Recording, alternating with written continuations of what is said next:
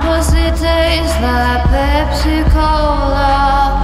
My eyes are wide like cherry pies. I got a taste for men who are older. It's always been so.